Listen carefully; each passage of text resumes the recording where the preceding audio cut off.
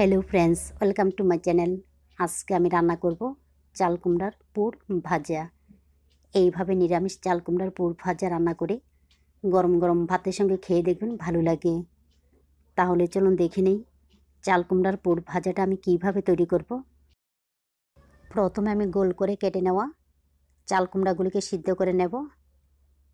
এইখানে আমি সাত থেকে আট টুকরো চাল কুমড়া ছিলে এইভাবে কেটে নিয়েছি। এইভাবে হালকা একটু লাগিয়ে রাখতে হবে। না হলে কিন্তু পুরটা দেওয়ার পর বেরিয়ে আসার সম্ভাবনা থাকবে। তো পুর তৈরি করলে কচি দেখে চাল কুমড়া ব্যবহার করতে হবে। না হলে কিন্তু ভালো লাগবে না। এরপর এর মধ্যে দিয়ে দেব লবণ। এখন এইগুলিকে নাইনটি পারসেন্ট সিদ্ধ করে নেব। এইভাবে চাল কুমড়াগুলিকে সিদ্ধ করে নিলে পুর তৈরি করতে সময় লাগবে না, কম সময় হয়ে যাবে। ডাকনা দিয়ে সিদ্ধ করে নেওয়ার পর চাল কুমড়াগুলি নাইনটি পার্সেন্ট সিদ্ধ হয়ে গেছে। এখন আমি এইগুলিকে জল জড়িয়ে নামিয়ে নেব। তবে লক্ষ্য করতে হবে চাল কুমড়াগুলি যাতে বেশি সিদ্ধ না হয়। বেশি সিদ্ধ হয়ে গেলে পুরটা দেওয়ার পর ভেঙে যাওয়ার সম্ভাবনা থাকবে। এরপর চাল কুমড়ার ভিতরের পুরটা তৈরি করে নেব। তার জন্য ফ্রাই প্যান গরম করে নিয়ে এর মধ্যে দিয়ে দিলাম সর্ষের তেল। এই রান্নাটা কিন্তু সর্ষের তেল দিয়ে করতে হবে। তেল গরম হয়ে গেলে ফোড়নের মধ্যে দিয়ে দিলাম কালো জিরা। এইগুলিকে দশ থেকে বারো সেকেন্ড নেড়ে চেড়ে নেওয়ার পর এর মধ্যে দিয়ে দেব হাফ কাপ নারকেল বাটা।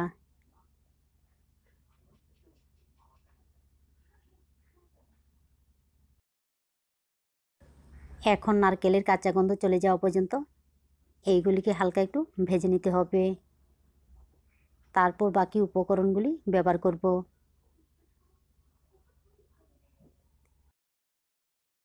প্রায় এক মিনিটের মতো এইগুলিকে ভেজে নেওয়ার পর এর মধ্যে দিয়ে দেব। এইখানে আমি তিনটা কাঁচা লঙ্কা, দুই চামচ সর্ষে, দুই চামচ পোস্ত, জল দিয়ে পেস্ট করে নিয়েছি। ঝালটা নিজেদের পছন্দ মতো দিয়ে দেবেন। বাটিটা দিয়ে এর মধ্যে দিয়ে দিলাম দুই চামচের মতো জল।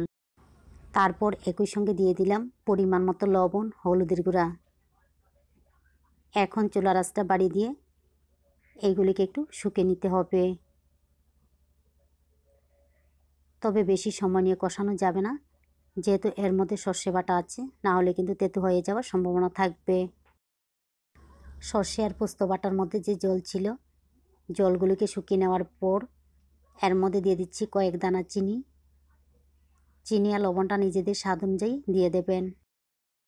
তবে চিনির পরিমাণটা কম ব্যবহার করতে হবে। যেহেতু নারকেল বাটা দেওয়া আছে, নারকেল বাটা এমনিতে একটু মিষ্টি মিষ্টি ভাব থাকে। এইগুলিকে ভালোভাবে মিশিয়ে নেওয়ার পর পুরগুলিকে একটা বাটির মধ্যে নামিয়ে নিলাম। এরপর একটা ব্যাটার তৈরি করে নেব। তার জন্য একটা বাটির মধ্যে দিয়ে দেব হাফ কাপ বেসন। একই সঙ্গে দিয়ে দিচ্ছি তিন চার চামচ চালের গুঁড়া।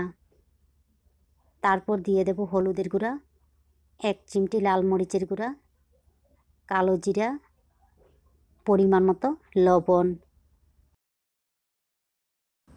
এখন শুকনো উপকরণগুলিকে মিশিয়ে নিয়ে এর মধ্যে অল্প অল্প জল দিয়ে ব্যাটারটা তৈরি করে নেব। তবে একসঙ্গে জল ব্যবহার করা যাবে না না হলে কিন্তু পাতলা হয়ে যাওয়ার সম্ভাবনা থাকবে। দেখুন, ঠিক এইভাবে ঘনত্বটা রাখতে হবে। বেশি পাতলাও না, বেশি ঘনও না।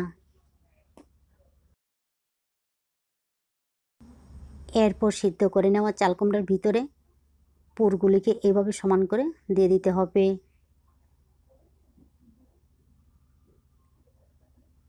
তারপর উপরের অংশটাকে এইভাবে চেপে হালকাভাবে দিতে হবে। তবে লক্ষ্য করতে হবে পুরটা যাতে বেরিয়ে না আসে। এখন আমি বেসনেরগুলার মধ্যে এইভাবে চুবিয়ে তেলের মধ্যে ভেজে নেব। তেল আগেই আমি গরম হতে বসিয়েছি। তেল গরম হয়ে গেলে এক এক করে সবগুলি দিয়ে দিচ্ছি।